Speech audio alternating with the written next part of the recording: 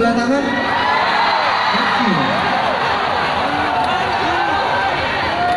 Gak usah malu, mana yang cowok yang cewek yang sampai detik ini masih memperjuangkan seseorang yang gak cinta sama kalian.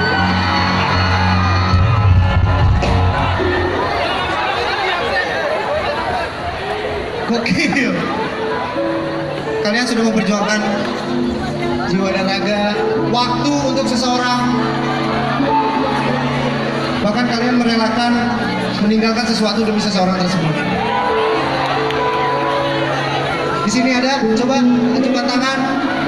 Ih, gokil. Yang acungin tangan, bagus. Baperan berarti. Enggak, enggak. Tapi, jadi cukup tahu ini kan menceritakan tentang seseorang yang memperjuangkan cinta bertepuk sebelah tangan.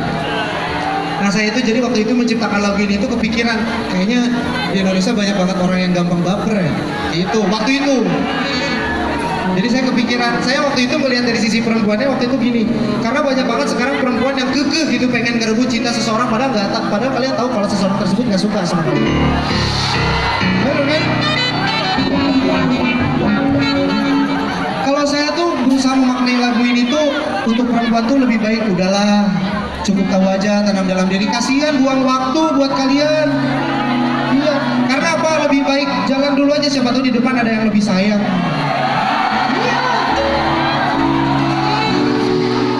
siapa tahu di depan tuh ada yang bisa lebih ngertiin.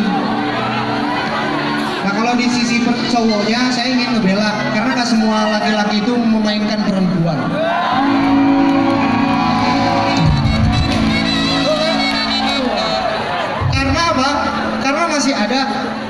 laki-laki yang dikecewain sama perempuan. Karena masih ada laki-laki yang dimanfaatin sama perempuan. Kompak sekali kalian.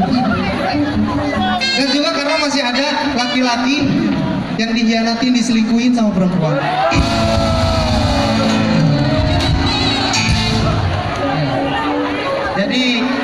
Baik cukup tahu aja tanam dalam diri, tunjukin dulu, sukses dulu. Kalau udah sukses ntar ngejar.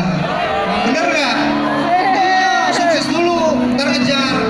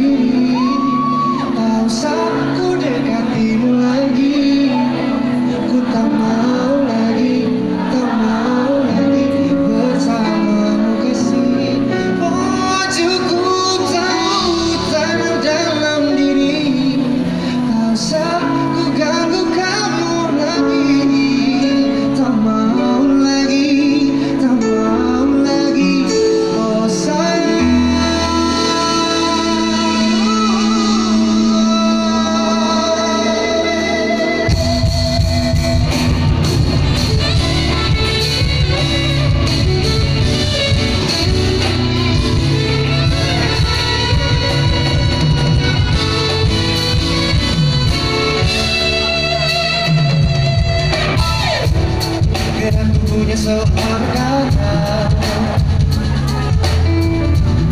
Tak cinta padaku tak suka padaku Oh, Aku pun mulai berpikir